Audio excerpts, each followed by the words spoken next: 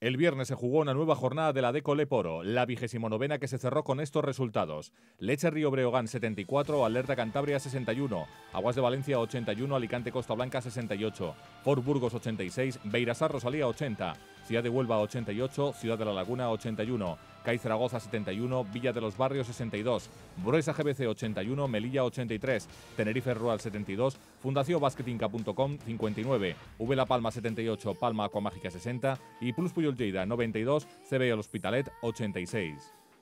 CAI Zaragoza dio otro paso más hacia el ascenso directo al ACB tras ganar en su pista del Príncipe Felipe al Villa de los Barrios y recibir allí mismo las noticias de las inesperadas derrotas de sus perseguidores en la clasificación. El equipo maño exhibió su mejor nivel defensivo y su rapidez al contraataque para derrotar a unos andaluces que notaron la ausencia de Adrian Moss, con problemas de vuelos en su regreso de Estados Unidos. Moncho Fernández, entrenador de Villa de los Barrios, analizaba el partido ante el CAI en la sala de prensa.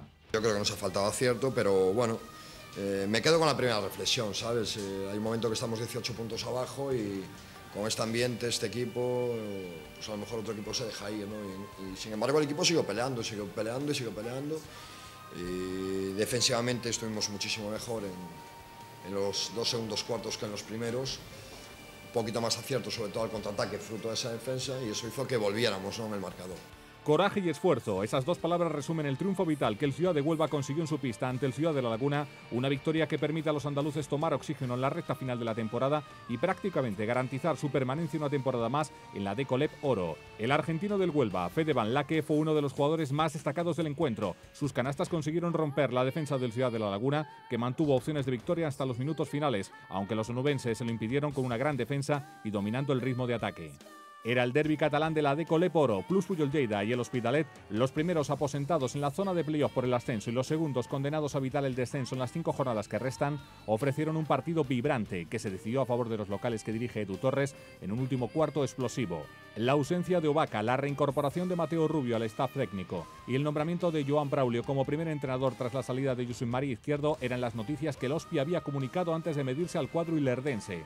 Cuando el veterano pívot del Lleida, Kevin Thompson, comenzó a imponer sus kilos y centímetros en la zona, la buena defensa del Hospitalet y los triples de Corbacho borraron la primera ventaja de los locales e incluso los ribereños se colaron seis puntos por delante. Aunque Leo Mainoldi, sin acierto en tiros de dos pero con puntería desde los triples, y de nuevo Thompson, rebajaron la desventaja a un solo punto. El segundo cuarto se jugó a una velocidad de vértigo. Los dos equipos se lanzaron al ataque sin freno. Jaume Comas marcaba el ritmo endiablado del Lleida hasta que los jóvenes talentos que agrupa el Hospitalet respondieron pese a que la batalla por el rebote la tenían perdida. Alex Yorca, un joven que apunta alto a sus 19 años de edad, lanzó de nuevo a su equipo, pero Marcus Vinicius y Christian Maraker aportaron la agresividad y los puntos que evitaron una escapada mayor del equipo barcelonés, que alcanzaría el descanso con tres puntos de ventaja. Plus Puyol Lleida insistió en el juego interior y la táctica le dio resultado al endosar un 8-0 de salida en el tercer cuarto. Bernie Álvarez anotó un triple con ese estilo depurado que siempre exhibe, aunque la última ráfaga de puntos la apuntó Taylor. El base norteamericano del Hospitalet anotó dos tiros libres y un triple tras pérdida tonta del Lleida, cinco puntos en un visto y no visto, que igualaría el marcador a 62 tantos a 10 minutos del final. Los locales lanzaron otra andanada que hubiera tumbado a cualquier rival. Mainoldi abrió las operaciones con un triple. Hetzenmeyer finalizó un contraataque de libro y Álvarez apuntaló la diferencia de 10 puntos desde donde más le gusta, los 6-25. Pero los barceloneses no se retiraron, al revés, se refugiaron en una defensa zonal bien abierta y se recuperaron antes de jugarse la victoria en un final intenso donde José Ángel Antelo, el ala pívot formado en la cantera blanca que ahora defiende los colores del Hospitalet, mostró su calidad y se apuntó un doble-doble, 20 puntos y 10 rebotes. El partido explotó con cuatro triples consecutivos. Anotaba el Lleida, respondía Antelo. Así cuatro ataques consecutivos que dejaron tres arriba al Lleida, pero de nuevo apareció el argentino Leo Mainoldi. Dos puntos desde la línea de tiros libres y esta canasta de tres a 50 segundos del final dictaban sentencia. Victoria de un Plus Puyol Lleida que lucha por ganarse la ventaja de campo en los plios de clasificación camino de la final a 4 y derrota de un Hospitalet que demostró la calidad y el carácter necesario para agarrarse a la Deco Leporo.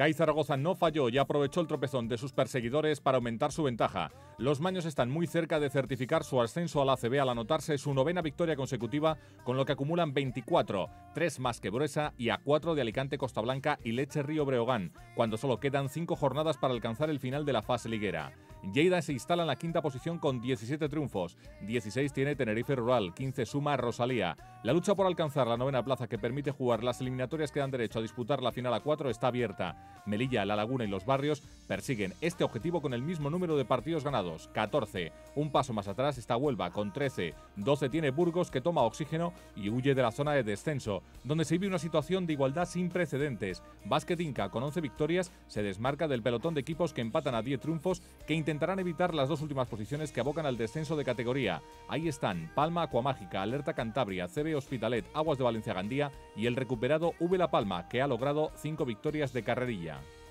Melilla sorprendió al Buesa en San Sebastián con una inmensa actuación de Michael Souhal. El pívot del equipo melillense volvió a dar muestras de su calidad al anotar 23 puntos, capturar 11 rebotes y recibir 9 faltas que elevaron su marcador de valoración hasta los 36 tantos. De esta forma, Souhal se hace acreedor de la nominación de mejor jugador de la 29 jornada. La mejor actuación de los jugadores nacionales fue la de José Ángel Antelo, a la pívot del Hospitalet, que alcanzó una valoración de 30 puntos. La Liga Femenina agota su fase regular y el pasado fin de semana se jugó la vigésimo cuarta jornada. Estos fueron los resultados. Estrucasa 86, Olesa Español 85, Extremadura Dato 67, Gran Canaria La Caja de Canarias 52, Rivas Futura 73, Perfumerías Avenida 76, Roscasares Valencia 76, Celta Vigo Urban 66, Manfilter Zaragoza 75, Arranjo Pisa Burgos 74, Club Baloncesto San José 70, EP Promociones Santulalia 72 y Cadil Aseo 65, Onda Irún 71. Ros Quesares certificó el liderato a dos jornadas para el final de la fase liguera con 21 victorias y tan solo tres derrotas. La segunda plaza la disputan EVE Promociones Santa Eulalia y Perfumerías Avenida que están empatados a 18 partidos ganados. Las leonesas del San José mantienen la cuarta plaza que da derecho a disputar las semifinales con 16 victorias. Rivas Futura pelea por alcanzar el mismo objetivo con 15. Por detrás, Celta Vigo Urban con 13, Estrugasa 12. La octava plaza también la persigue un grupo de cuatro equipos, Ondarribia, Gran Canaria, Olesa Español y Cadil Aseo, todos ellos con nueve victorias. Batalla final por eludir el descenso entre Manfilter Zaragoza y Extremadura Dato con 7 y la última plaza la ocupa las burgalesas del Arranjo Pisa Burgos con 5.